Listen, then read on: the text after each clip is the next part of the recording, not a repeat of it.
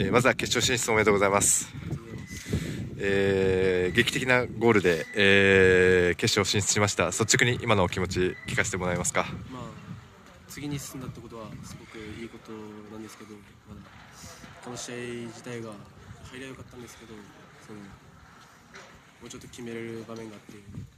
もうちょっと楽にゲームを進めれたんじゃないかなと思います。えー決勝の相手東福岡なんですけれども、えー東福岡の印象であるだとか、えー決勝への意気込みっていうところを最後に聞かせていただけますか？えっと東福岡はもうつないでつないでっていうそれでもう足元がうまい印象があってもう,、まあ、もう去年のベ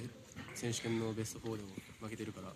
まあ、し明日はしっかり勝って久しぶりに新人戦優勝したいと思ってますおめでとうございました